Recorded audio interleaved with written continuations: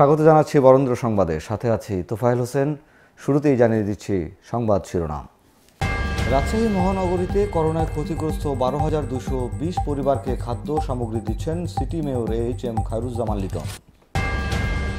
Rajshahi medical college হাসপাতালের corona ইউনিটে মৃতের তালিকায় আরও তেরো জনের নাম, নতুন ভর্তি আটচল্লিশ জন। রাজশাহীর বাগমারায় দশ বছরের এক শিশুকে ধর্ষণের অভিযোগে একজনকে গ্রেপ্তার করেছে পুলিশ। শুনছিলেন শিরোনাম, এবার বিস্তারিত। প্রধানমন্ত্রী শেখ হাসিনার নির্দেশে রাজশাহী মহানগরীতে করোনায় ক্ষতিগ্রস্ত গরিব অসহায় বারো হাজার দুশো বিশ পরিবারকে খাদ্য সামগ্রী দিয়েছেন Rajshahi city corporation mayor A H M Khairuzzaman Liton. এরই অংশ হিসেবে শনিবার দুপুরে জেলার শিল্পকলা একাডেমির সামনে মহানগরীর রাজপাড়া থানা এলাকার দুই হাজার ছয়শো ত্রিশ পরিবার এবং বিকেলে রাজশাহী কলেজের স্কুল মাঠে বোয়ালিয়া থানা পশ্চিম এলাকার দুই হাজার তিনশো বিশ পরিবারের মাঝে খাদ্য সামগ্রী বিতরণ করেন তিনি। এ সময় মেয়র লিটন বলেন, প্রধানমন্ত্রীর নির্দেশে বারো হাজার দুশো বিশ পরিবারকে খাদ্য সামগ্রী প্রদান করা হচ্ছে। এর আগে সরকারি খাদ্য সহায়তা দফায় দফায় মানুষের মাঝে বিতরণ করা হয়েছে। প্রধানমন্ত্রী আরও বেশি বেশি খাদ্য সহায়তা দেওয়ার জন্য সচেষ্ট আছেন। সরকারি সহায়তার পাশাপাশি ব্যক্তিগত উদ্যোগেও খাদ্য সহায়তা বিতরণ অব্যাহত রেখেছি। করোনা পরিস্থিতিতে আগামীতে এভাবেই অসহায় মানুষের পাশে থাকবেন বলেও জানান তিনি। অনুষ্ঠানে সবাইকে স্বাস্থ্যবিধি মেনে চলা, মাস্ক ব্যবহার করা এবং করোনার টিকা গ্রহণের আহ্বান জানান রাশিক মেয়র। এ সময় রাজশাহী মহানগর আওয়ামী লীগ সহ অঙ্গ সংগঠনের নেতাকর্মীরা উপস্থিত ছিলেন। রাজশাহী মেডিকেল কলেজ হাসপাতালের করোনা ইউনিটে আরও তেরো জনের মৃত্যু হয়েছে। এদের মধ্যে পাঁচজন করোনা এবং বাকি আটজন উপসর্গ নিয়ে মারা গেছেন। এ নিয়ে চলতি মাসের গত ত্রিশ দিনে মৃত্যু হয়েছে পাঁচশো ছেষট্টি জনের। এদিকে নতুন করে ভর্তি হয়েছেন আরও আটচল্লিশ জন রোগী। মৃত্যু হবে শনিবার সকালে তথ্যগুলো নিশ্চিত করে রামেক হাসপাতালের পরিচালক ব্রিগেডিয়ার জেনারেল স্বামী মেজদানি জানান গত চব্বিশ ঘন্টায় মারা যাওয়াদের মধ্যে রাজশাহীর তিনজন, চাঁপাইনবাবগঞ্জের এক, নাটোরের এক, নওগাঁর তিন ও পাবনার পাঁচজন রয়েছেন। এদের মধ্যে সাতজন পুরুষ ও ছয়জন নারী। মৃতদের মধ্যে চারজনের বয়স একষট্টি বছরের উপরে, বাকিদের মধ্যে একান্ন থেকে ষাট বছরের মধ্যে ছয়জন, একত্রিশ থেকে চল্লিশ বছর বয়সের দুজন ও এগারো থেকে বিশ বছরের মধ্যে একজন রয়েছে। তিনি জানান, গত চব্বিশ ঘন্টায় করোনা ইউনিটে নতুন রোগী ভর্তি হয়েছেন আটচল্লিশ জন। একই সময় সুস্থ হয়ে হাসপাতাল ছেড়েছেন বত্রিশ জন রোগী। শনিবার সকাল ছটা পর্যন্ত করোনা ইউনিটের পাঁচশো তেরো বেডের বিপরীতে ভর্তি আছেন চারশো তেত্রিশ জন। এদের মধ্যে আইসিইউতে রয়েছেন উনিশ জন রোগী। রাজশাহীর বাগমারায় দশ বছরের এক শিশুকে ধর্ষণের অভিযোগ পাওয়া গেছে। ওই ঘটনায় শিশুটির বাবা বাদী হয়ে বাগমারা থানায় একটি ধর্ষণ মামলা দায়ের করার পরপরই পুলিশ অভিযান চালিয়ে ধর্ষক সুমন চন্দ্র ঋষিকে আটক করেছেন। ধর্ষিত শিশুটিকে উপজেলা স্বাস্থ্য কমপ্লেক্সে চিকিৎসার জন্য ভর্তি করা হয়েছে। মামলার এজাহার সূত্রে জানা যায়, উপজেলা ভবানীগঞ্জ পৌরসভার ঋষিপাড়ার নরেন্দ্রী চন্দ্র ঋষির বখাটে ছেলে সুমন চন্দ্র ঋষি শুক্রবার বিকেলে প্রতিবেশীজনক ব্যক্তির দশ বছরের কন্যাকে মাছ দেওয়ার কথা বলে তার বাড়িতে ডেকে এনে শিশুটিকে জোরপূর্বক ধর্ষণ করে। এ সময় শিশুটির চিৎকারে প্রতিবেশীরা এগিয়ে আসলে ধর্ষক সুমন ঋষি পালিয়ে যায়। এ সময় প্রতিবেশীরা রক্তাক্ত শিশুটিকে উদ্ধার করে উপজেলা স্বাস্থ্য কমপ্লেক্সে চিকিৎসার জন্য ভর্তি করেন। রাতেই শিশুটির বাবা সুকুমার ঋষি বাদী হয়ে সুমন ঋষিকে আসামি করে থানায় একটি মামলা দায়ের করেন। মামলা দায়েরের পরপরই পুলিশ অভিযান চালিয়ে ধর্ষক সুমন ঋষিকে আটক করে।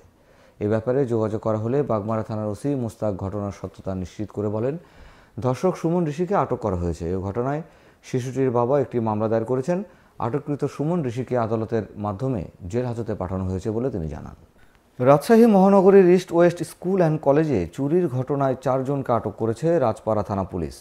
এ সময় তাদের কাছ থেকে চুরি যাওয়া আংশিক মালামাল উদ্ধার হয়েছে। গত উনিশ জুলাই রাতের কোনো এক সময় জানালার গ্রিল কেটে কম্পিউটার সরঞ্জামাদি ও নগদ বিশ হাজার টাকা চুরি করে নিয়ে যায় দুর্বৃত্তরা। গ্রেপ্তারকৃত আসামিরা হল রাজশাহী মহানগরীর রাজপাড়া থানার বসুয়া উত্তরপাড়ার মৃত শরীফ মণ্ডলের ছেলে মোহাম্মদ আনারুল বহরমপুর ব্যাংক কলোনির মৃত আব্দুল সামাদের ছেলে সানোয়ার হোসেন কালু, মৃত সুলাইমানের ছেলে শাহিদ শেখ টিটু ও জামিরুল শেখ লিটন।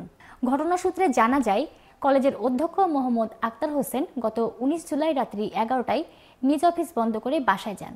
পরদিন সকাল সাতটায় অফিসে এসে দেখতে পান, প্রতিষ্ঠানের নিচতলা জানালার গ্রিল কাটা। ভেতরে প্রবেশ করে দেখেন, প্রতিষ্ঠানের প্রজেক্টর কম্পিউটার সরঞ্জামাদি ও নগদ বিশ হাজার টাকা সহ দুই লক্ষ পঁচানব্বই হাজার টাকার মালামাল চুরি হয়ে গেছে। উক্ত ঘটনার প্রেক্ষিতে রাজপাড়া থানায় একটি নিয়মিত মামলা রুজু হয়। এর প্রেক্ষিতে সর্বশেষ গত উনত্রিশ জুলাই সন্ধ্যায় রাজপাড়া থানার অফিসার ইনচার্জ মাঝহারুল ইসলামের দিক নির্দেশনায় তার টিম অভিযান পরিচালনা করে তাদের গ্রেফতার করে। এ সময় তাদের কাছ থেকে একটি স্ক্যানার মেশিন, ফ্যান, একটি রাউটার, চারটি মনিটর ও চারটি কম্পিউটার উদ্ধার হয়। গ্রেফতারকৃত আসামিদেরকে জিজ্ঞাসাবাদ শেষে বিজ্ঞ আদালতে সোপর্দ করে। আসামিদের কাছ থেকে অন্যান্য মালামাল উদ্ধারে অভিযান অব্যাহত আছে। গ্রেফতারকৃত আসামিদের বিরুদ্ধে আইনগত ব্যবস্থা গ্রহণ হয়েছে বলে জানান ওসি।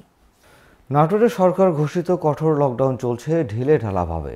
লকডাউনের নবম দিনে সড়কে মানুষ এবং যানবাহন চলাচল ছিল অন্যান্য দিনের মতোই স্বাভাবিক। শুধুমাত্র আন্তজেলা ও দূরপাল্লার যাত্রীবাহী পরিবহন বন্ধ থাকতে দেখা গেছে। মানুষ প্রয়োজনে বা অপ্রয়োজনে বের হয়ে চলাফেরা করছে। স্বাস্থ্যবিধি ও সরকারি বিধিনিষেধ মানার কোনো আগ্রহ নেই জনগণের। মাস্ক পরিধান না করেই চলাফেরা করছে অধিকাংশ মানুষ। জেলার প্রতিটি উপজেলাতে একই অবস্থা বিরাজ করছে। নোয়াখালীর বেগমগঞ্জে মাদক সেবনে বাধা দেয়ায় সন্ত্রাসী হামলার ঘটনা ঘটেছে। এতে সাতজন আহত হয়েছেন। এ সময় ষোলোটি বসতঘর দোকান ভাঙচুর সহ স্বর্ণলঙ্কার ও নগদ টাকা লুট করে নিয়ে যায় হামলাকারীরা। শনিবার উপজেলার জিরতলি ইউনিয়নে এ ঘটনা ঘটে। স্থানীয়রা জানায় বাপ্পি, মহিন ও সলিমান স্থানীয় হারুনুর রশিদের ঘরের পেছনে ইয়াবা সেবন করতে গেলে তিনি বাধা দেয়। এতে তারা ক্ষিপ্ত হয়ে হারুনুর রশিদকে মারধর করে চলে যায়। সন্ধ্যা ঘনিয়ে এলে মোহাম্মদপুর গ্রামের খাজা বাহিনী নামে একদল সন্ত্রাসী বাহিনী বসত বাড়িতে হামলা করে প্রায় পাঁচ লক্ষাধিক টাকার ক্ষতি করে। খবর পেয়ে জিটতলি ইউপি চেয়ারম্যান রফিকুল ইসলাম মিলন ঘটনাস্থল পরিদর্শন করেন। এ সময় তিনি মাদক সেবনকারীদের বিরুদ্ধে ব্যবস্থা গ্রহণের জন্য প্রশাসনের হস্তক্ষেপ কামনা করেন। এ ঘটনায় আয়েশা বেগম বাদী হয়ে বেগমগঞ্জ মডেল থানায় একটি মামলা দায়ের করেছেন। বর্তমানে এলাকায় আতঙ্ক বিরাজ করছে। বেগমগঞ্জ মডেল থানার ভারপ্রাপ্ত কর্মকর্তা কামরুজ্জামান শিকদার ঘটনাটির সত্যতা নিশ্চিত করেছেন। এই ছিল বরেন্দ্র সংবাদে। সাথে থাকবার জন্য ধন্যবাদ।